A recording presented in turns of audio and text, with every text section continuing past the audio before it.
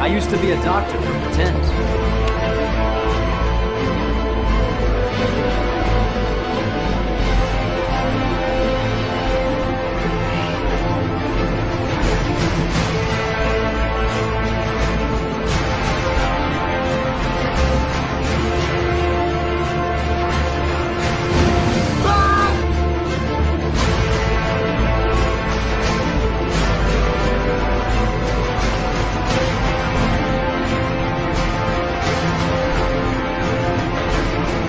Doctor.